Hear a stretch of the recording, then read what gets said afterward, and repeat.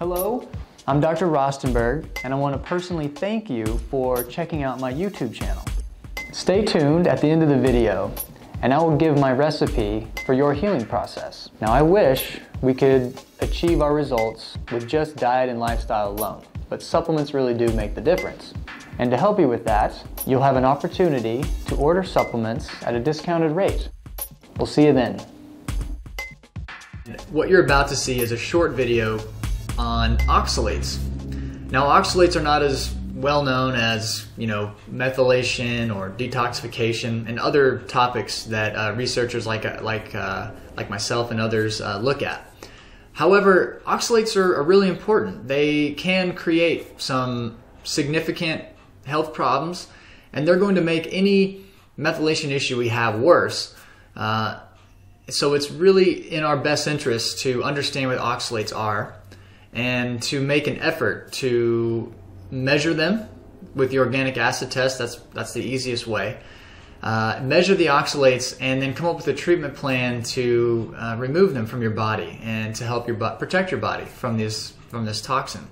So what you're going to see in this video is how oxalates in, are related to improper gut function and how oxalates create kidney stone issues and osteoporosis issues, malabsorption issues, things that are very, very common in our society but aren't being well taken care of with traditional approaches. So that's what you're in store for today.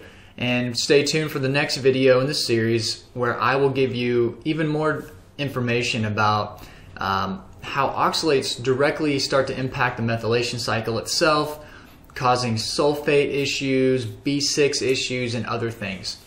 So uh, without further ado, I will hand it over to the video and we'll see you again soon. Thank you very much. Hello everyone, Dr. Rostenberg here, and today's video is going to be an overview of oxalates and how they relate to gut function, as well as how oxalates impact our kidneys. Uh, my future videos will get more in depth on how oxalates begin to affect our detoxification and methylation pathways, vitamin pathways, but for today it's really about where oxalates come from and why they become a problem. It's important to understand why. So, oxalates come from healthy food. Um, look at this list. You're going to see fruits and vegetables and high antioxidant foods, foods that um, I would say for most people are very good to eat, um, especially the vegetable category. So, how can a food that's good for you, like kale and zucchini and um, you know Swiss chard and you know um, these other foods, how can these foods that are supposed to be good for you also have oxalates in them? Well, it's just that oxalates are a, something our bodies have been coming into contact with for a very long time. And we have the ability to take care of these oxalates uh, when they come in in moderate amounts. In other words, when our gut is working, our body can absolutely take care of the oxalate, no big deal. Eat these foods, enjoy these foods, and you're going to, you know, improve your genetics, your gene expression, improve your health and well-being on every level. I don't think that can be argued. But the, the important thing is to recognize that oxalates really are in a lot of foods that most of us eat every day. So if you're dealing with an, with an oxalate problem, it's important to recognize where they're coming from. Now, one thing you don't see on this list is meat. And at first blush, you might think, well, meat doesn't have any oxalate in it. And that's not entirely true. The animals which grow the, which, you know, we eat for, uh, for meat, many of them eat, eat plants themselves. So the, the animal uh, that we, you know, harvest for meat is going to have oxalates in it as well. This study from 2001 shows how the meat proteins in our diet getting entering into the liver uh, produce an oxalate end product, um, whether from this top pathway, the bottom, or this lower pathway. And so you can see that um, you know oxalates also come from meat, so they're in our food. There's no way around that. Um, we don't want to avoid food because it has oxalates in it. We want to make sure that our gut is working better so that the oxalates are not an issue. And we work on that with patients almost every day in my office uh, with really good results. So I want to share this with you so that you have a, a concept to understand how um, our body absorbs oxalates uh, under normal circumstances and under less and under circumstances when when there's a problem. So you can see this is the gut tube and this is the blood vessel. And so this is the oxalate basically floating free in the gut and this is the transporter on the surface of the lining, the epithelial lining of the gut. And that's how the oxalate is absorbed. These are the genes, the enzymes that provide that absorption. However, it's important to realize that under normal healthy circumstances, the calcium in our diet is going to combine with the oxalate to form a compound that our body cannot absorb. Calcium, which binds to oxalate, uh, you know, basically prevents the oxalate from being absorbed into your body. Now, the problem arises when there's a gallbladder issue and, and upper GI problems, which we see all the time. People have very poor stomach function, poor pancreatic function, and, and definitely poor gallbladder function. You'll see more studies here shortly that, that prove this point. But when our gallbladder and pancreas and, is not working well, fats are not digested. Simple as that. Without healthy enzymes being released when we eat to help break the fat down and absorb it, the fats will not be absorbed. So what's going to happen is fat that's unabsorbed the lipid combines with calcium. And so now the calcium, instead of binding with the oxalate, is now bound to the fat. And now you poop out the calcium and the fat, two things that you actually wanted to absorb, and what you get instead is a higher amount of oxalates. This is the absolute most common reason why people have an oxalate problem. I have patients who've had five, six, seven, eight rounds of kidney stones. They're what are called idiopathic stone formers. The doctors don't know why they're forming stones. Well, about 80% to 85% of all kidney stones that form idiopathically without a disease are oxalates. They're oxalate stones. So this patient in particular has a very bad gallbladder issue that's been undiagnosed, which actually is showing up in the kidney first. There's a gut kidney connection in and our bodies and the oxalates help show that relationship. So one thing to be aware of, um, you know, we we if we have high amounts of vitamin C in our diet and you already have high oxalates, that may not be the best choice for you. So you know, I'm a big fan of high dose vitamin C for lots of things, but if there is an oxalate issue, you need to be careful. Uh, the, this chart just shows a little bit of the genetic diseases that can interfere with oxalate formation, but even despite the genetic issue, as you'll see in my future videos, they're just taking the right amount of B6, a therapeutic level of B6 is, is able to overcome the genetic weakness and create normal oxalate metabolism. So, moral of the story here oxalates go up in the body because of a gut problem. When you have a gut problem and your oxalates go up, you poop out your calcium and your fat that you need. So, we're talking osteoporosis we're talking neurological conditions, inflammation, brain degeneration because you don't get the omega 3s. I mean, that's important stuff. That's why we're talking about oxalates. Now, just to highlight the connection between gut and oxalate issues, is this is a study from way back in 1977.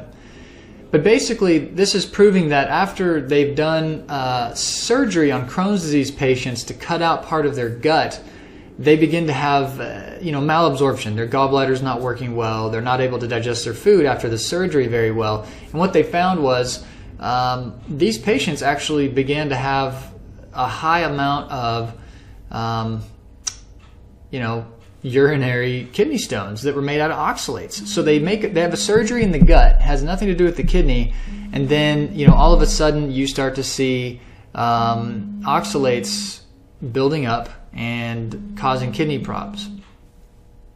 So um, we're going to keep going here and basically talk about another subject or another uh, research article here that's very uh, in line with what we said so far. So it's interesting that um, after they've done bariatric surgery, another gut surgery, they also see an increase in urine calcium oxalate supersaturation significantly, and they see fecal fat going way up. So, what they're telling you in the research is what I've shared with you already. When you cause a change in the gut and you make the gut dysfunctional so that it no longer works, and you can no longer uh, digest your protein. So just like I shared with you earlier, when you know the body cannot absorb fats because you have a stomach issue slash gallbladder issue and you've got that dysfunction in the upper GI tract that's so common, the fats combine with the calcium and you poop that out. So you poop out your essential fats, you poop out your calcium and other minerals that you need, and you start to absorb a very high amount of oxalates. And they were able to determine this in a study. So after bariatric surgery, which is pretty extreme surgery, they saw fecal fat go up. They saw higher levels of oxalates in the urine. And, you know, basically the conditions were set to have kidney stones, which, you know, I've never had one, but I can, um, I'm, I don't need to have one to know that they're, they're that painful and they're not something we want to, we want to experience. So another just piece of data. This is straight out of 2015, just a few months ago. Um, just to kind of show you that most kidney stones that have calcium are actually calcium oxalates. So there's this absolute relationship between calcium, uh, you know, oxalate stones. So absorbing oxalates in your gut and having a kidney stone, it's a gut kidney problem. Idiopathic kidney stones kidney stones for, for like no reason, you don't have diabetes, you don't have any other disease that would cause you to have kidney stones. Those type of people are having oxalate problems and it's coming from the gut. So another thing to keep in mind too, and we'll get into this a little bit, is that low citrate increases the chances for calcium to bind with oxalates. So this is one reason why uh, you know, we give calcium citrate to patients who have an oxalate problem. You get you get multiple benefits from that, uh, but the citrate really helps to. Um, you can see here the hypercalciuria and the hypocitriuria. So in other words, the low citrate uh, in the in the urine is a, makes it more likely to form a stone. So again, we're going to run through some more data. About 75% of all stone formers are calcium oxalate stone formers. So earlier I mentioned 85. Um, the data really uh, is more in line with 75%, but still that's uh, three quarters of all um, patients who form these stones are having oxalate problems. And who's looking at their gut saying, well, how's their gut working? Is their gallbladder functioning? Are they pooping out a bunch of fat that they shouldn't be? You know, this needs to be investigated uh, on a routine basis and you can really help change people's lives and prevent them from having uh, to go through this kidney stone process. So, again, just more data. This is a, from a few years back. Um, you know, hyperoxaluria, a lot of elevated oxalates in the urine, which we test for routinely on our organic acid test and other tests we do in the office. Um, it's increased intestinal absorption. Boom. Secondary to malabsorptive disease. All right, that is super, super important. This is what we need to look at with all patients who have high oxalates. You've got to rule out the gut problem because it's really, really common. Um, dietary habits, again, you know, high oxalate intake with low calcium intake is probably not as much of a, not as common as the gut problem. And then, of course, there are some gut flora. Um, certain gut bacteria can have the ability to degrade um, to degrade oxalates. It's called Oxalobacter uh, formigenes, basically. Uh, so there's an Oxalobacter type of probiotic that breaks down oxalates. And, and if you have a healthy gut that's in there, it's functional. Um, so that does also help protect you. Um, just a little more information about oxalates cause a lot of problems for the kidney. It, it irritates the lining of the kidney, kind of causes leaky kidney. So you can get leaky gut and then you can end up with leaky kidney. Um, a lot of the same tissues in your body, your gut, your lungs, your kidneys, um, your blood vessels, your blood brain barrier, if one leaks, the conditions are set for, for other parts of them to leak as well. They, they have so much in common uh, in terms of how they're structured that if, if you're having a leaky gut episode, you're very likely having a leaky brain and potentially leaky lungs and leaky kidney. They all have the same type of epithelial lining in there. So again, more studies. It's all about binding it with calcium, okay? If you can get your oxalates in your diet and in your gut to bind with calcium, then you will protect yourself from increased calcium uh, oxalate absorption. So, We want to make sure that the calcium and the oxalate bind inside your gut, not inside your kidney. And that's can, that can happen reliably with the right type of supplementation. You can check my website, uh, Beyond MTHFR, look under the protocols um, drop down menu, and you'll see oxalates as a, as a page, and it'll explain that for you. More data. Again, 80% of all kidney stones contain calcium oxalates. So 75, 80% of people with kidney stones have an oxalate problem. It is the dri- you know, it's the ultimate driving force for stone formation. Okay? This is what causes these stones. Now I want to share with you something that's very interesting as we bring this to a close here. I've shown you how oxalates come from a leaky gut. I've shown you how gallbladder problems and surgery to your gut increase the chances that a patient will have a kidney stone. They definitely increase the amount of oxalates getting into the kidney. It's a gut oxalate problem. And, and given the fact that calcium forms stones and causes kidney stones, you might think, as I used to think, and many think still, that calcium is the problem and that avoiding calcium prevents kidney stones. And, and as many things are in the body, or just like other other aspects of our physiology, it's it's a little bit ironic, and and the truth is a little bit ironic here. This research shows that the more uh, you decrease your intake of calcium, the less calcium you take in, the higher the rate of kidney stones. It doesn't make sense until you realize that eating more calcium with your food binds the oxalate in your gut and then prevents the oxalate from being absorbed. So the oxalate and the calcium have to bind. The question is, are they going to bind in your gut and you poop them out? No big deal. Are they going to bind in your kidney and cause a kidney stone? Really big deal. That's what we're trying to answer here. So if you cause a calcium, if you eat a calcium restricted diet, there is a higher risk of stone formation on a calcium restricted diet. It's in the research. It's a little bit ironic, but that's there's always a reason why the body does what it does. And again, more data just saying increasing calcium while eating oxalate rich foods prevents dietary hyperoxaluria and reduces calcium oxalate stone formation in healthy subjects. They took healthy patients, they gave them a high oxalate diet. They gave them a 20 fold, 20 times more oxalate load than normal. They gave them 20 times the normal amount of oxalates.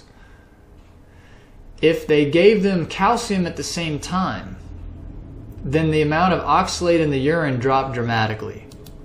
It's just that simple, guys. So I hope this was educational for you. I hope you'll take some time to look more into oxalates. I hope you'll read my my blog post that's uh, you know published on beyondmthfr.com, and let me know if you have any questions. Um, I'm always here to answer questions and uh, help um, point you in the right direction. And stay tuned for the next videos in this series where we get a little more in depth on the methylation cycle and how these oxalate issues create some pretty nasty biochemical problems uh, down the road and uh, so you don't want to miss that. Thank you so much for watching this video and sharing it with your friends and family. I personally believe, as I'm sure you do as well, that educating ourselves about what it truly means to be healthy is the only way we're going to change healthcare. I have created a website as a resource for you. To take advantage of this information, navigate to www.beyondmthfr.com and take a look around. In addition to blogs and articles I have written, you will find a tab on the menu labeled Protocols. It is a growing list of tools that I use in my office to help support my patients.